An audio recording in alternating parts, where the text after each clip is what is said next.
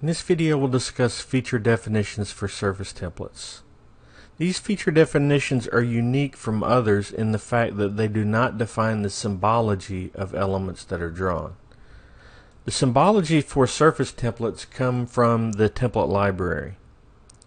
If I open up a template here and go to surface templates and choose this first one here for asphalt pavement, basically when we apply a surface template it's going to take the depth and material from each layer of this pavement and apply it to a terrain in the file.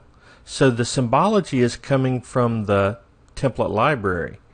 The feature definitions only determine whether the linear element from those points are drawn into the model. So if I go to explore here, I'm in open road standards. I've got my feature definitions expanded. I've got surface templates expanded and I've got two options here. If I choose the first one, disable linear features, you notice I get the standard settings for all feature definitions, a name, a description, a name seed, whether I want item types applied or not.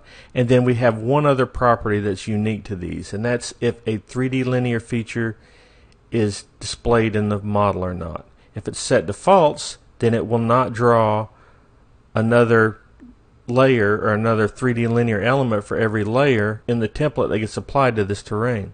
If it is enabled, if that is set to true, then it would draw a 3D element for each layer from the template.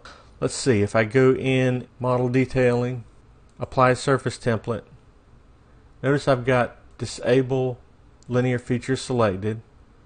I'll go in and choose the first one, data point to accept and that places that one. I'll go back here, place the same template with enable feature selected. And then if I go in and turn my meshes off, the only difference is whether each layer of that template is applied. This completes the video on feature definitions for surface templates.